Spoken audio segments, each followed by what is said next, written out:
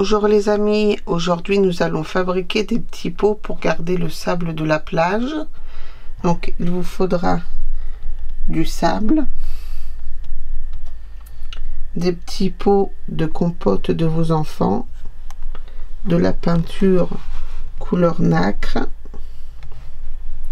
un pinceau, un stylo ou un feutre, du ruban, des stickers, des petites étiquettes, des petits boutons euh, en forme de poisson ou étoile des mers et des coquillages.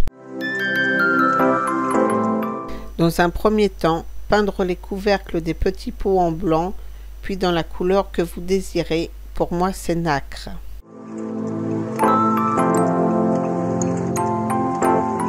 Collez le ruban de votre choix sur le bas du pot en verre.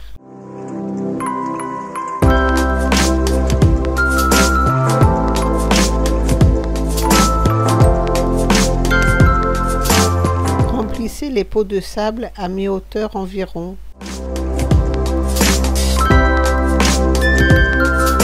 Ajoutez quelques petits coquillages. Notez sur l'étiquette la ville de la plage avec la date, puis collez-la sur le pot et décorez-la avec des stickers, étoiles des mers et poissons infimaux ou d'autres décors selon vos souhaits.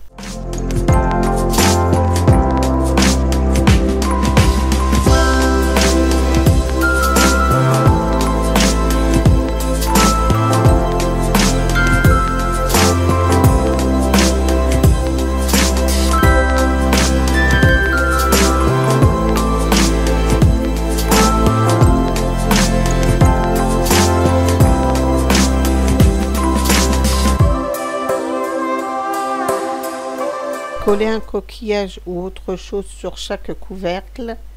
Vous n'êtes pas obligé de le décorer. Vous pouvez également mettre un joli ruban autour de celui-ci.